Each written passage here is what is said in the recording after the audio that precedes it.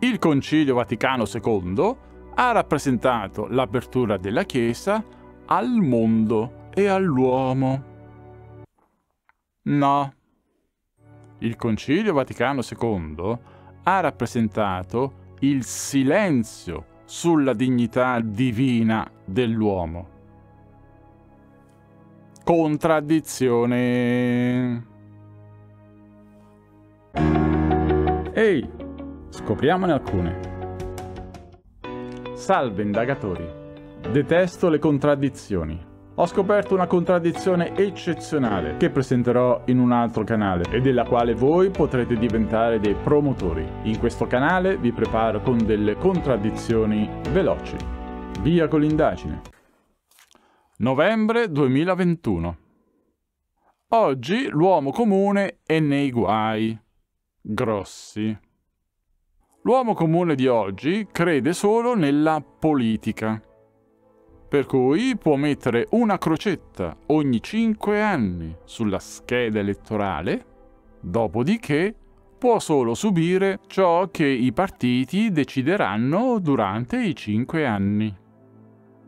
E poi può guardare le discussioni politiche in tv con l'illusione di essere uno dei protagonisti.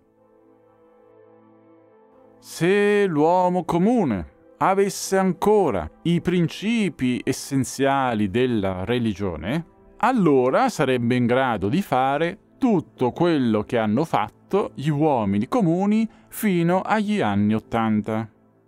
Le associazioni, gli scioperi, le manifestazioni, le agitazioni.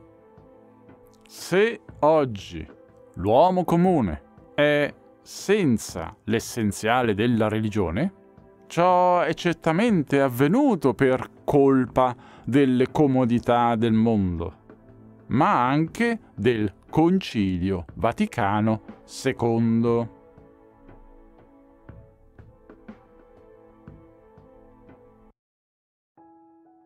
L'essenziale della religione. L'essenziale della religione nei riguardi dell'uomo, non di Dio, significa 1. Concepire l'intervento di Dio a favore dell'uomo comune. A. Come Dio in Egitto che ha aiutato gli schiavi, anziché gli schiavisti. B. Come il figlio di Dio Gesù, che si è fatto uomo per salvare dal peccato. 2. Comporta la maturazione dell'individualità perché costringe a pensare alle proprie azioni quotidiane per accedere, dopo la morte, alla casa di Dio, paradiso, anziché essere cacciati fuori da essa, inferno. 3. Comporta il considerare come tendenti a peccare anche gli altri, oltre se stessi Dunque si è maggiormente disposti a giudicare gli altri come ingannatori e ladri, anziché ingenuamente come incapaci, in buona fede, nel fare il bene comune. 4. Comporta il dovere di lottare contro il male, che significa sia il lottare per i propri diritti contro gli oppressori, sia il pretendere che le autorità compiano i loro doveri. Perché anche Dio punirà per l'eternità coloro che ingannano, derubano e riducono la vita dei singoli e dei popoli. 5 comporta il minimo comune denominatore degli interessi individuali tra persone sconosciute, che permette a ciascuno di superare la sfiducia nell'altro, generata dall'individualismo italiano solipsistico, solitario. 6. Comporta tante altre cose. Attenzione! anche il mondo insegna all'uomo comune una concezione della dignità umana, ma è a svantaggio della sua vita piena, della sua libertà, della sua umanità.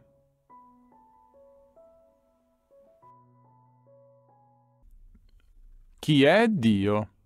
La teologia dell'arancia. Chi è Dio e come ragiona? Lo si comprende aprendo la finestra e guardando il mondo. La Bibbia viene dopo. Può sembrare banale, ma è efficace e sicuro. Dio è l'ideatore e il costruttore delle arance delle albicocche, delle ciliegie, del mare, della montagna, eccetera. Un'altra specie di tempio di Dio, per nulla considerato, è il supermercato. Lì ci sono sia dei prodotti fatti direttamente da Dio, i pomodori, le zucchine, le arance, le albicocche, il prezzemolo, sia altri prodotti, come la pizza, la crostata, il gelato, fatti indirettamente da Dio attraverso l'ingegno umano, che è un'altra invenzione di Dio. Inoltre, questo Dio, oltre che potente, è anche generoso, dato che ha fatto tutte queste cose per l'uomo.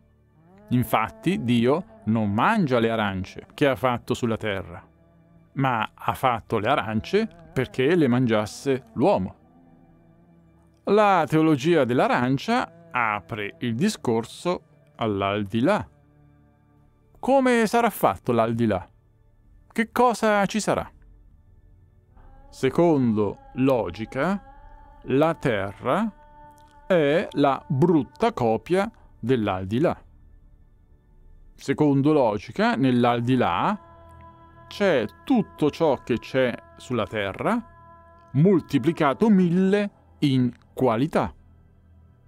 Per esempio, c'è la millo arancia, ossia un'arancia mille volte più buona di quella che c'è sulla Terra. C'è la millo ciliegia, la millo albicocca, il millo cacao, il millo caffè, eccetera. Cosa è l'aldilà? È la casa e i terreni di Dio. Anche la terra è di Dio, eh? Pertanto, che cosa pensa Dio dell'uomo? Secondo Dio, l'uomo è meritevole delle arance della terra e delle millo arance del paradiso dopo la morte. Invece, per coloro che hanno delle antipatie eterne verso Dio e verso gli uomini che sono nella casa di Dio, dopo la morte c'è liberamente e logicamente il fuori casa e fuori dai terreni di Dio, dove c'è l'assenza di tutto. C'è il nulla. Lì nemmeno il buio esiste. Non c'è la luce e non c'è nemmeno il buio. È il concetto di tenebra, l'assenza di tutto. Tuttavia, questo è il luogo migliore per queste persone. Perché qualunque cosa proveniente da Dio provoca sofferenze a coloro che lo detestano. Logico. Così, se la vita in questa condizione del nulla provoca sofferenza a tutto l'essere umano, coloro che lo scelgono, questo luogo, soffrirebbero molto di più il solo guardare il paradiso, Dio e le persone che hanno scelto di vivere lì per l'eternità. La logica dice che al vederli, queste persone provano un ribrezzo e un disgusto totali. Per cui, per loro, meglio là che lì. L'essenziale della religione a vantaggio dell'uomo comune. L'essenziale della religione utile all'uomo è A. Il concetto di cosa Dio fa per l'uomo. E l'abbiamo visto con l'intervento in Egitto, con l'incarnazione del figlio di Dio, con le arance. E B. Il concetto della condizione individuale dell'uomo dopo la morte che è riassunta dalla terna di opzioni paradiso, purgatorio, inferno, che comporta l'argomento del bene e del male e l'argomento della vita nell'aldilà.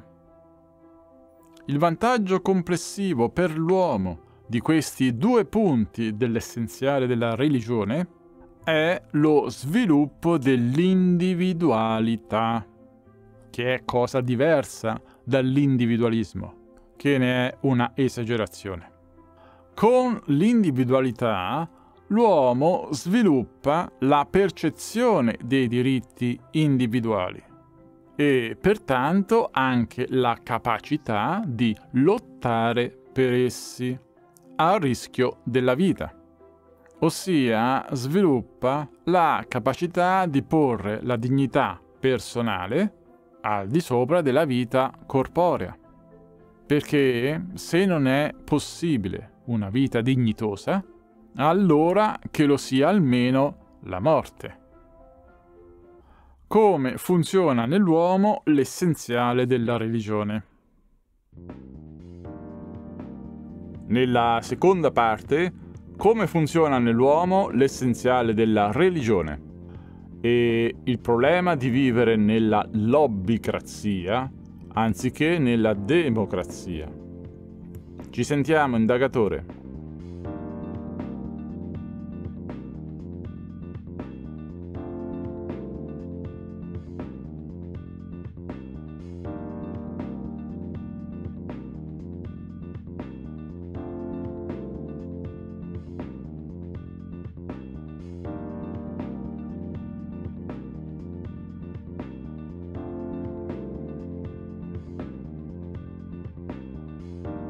Ehi, indagatore, qua c'è il prossimo video.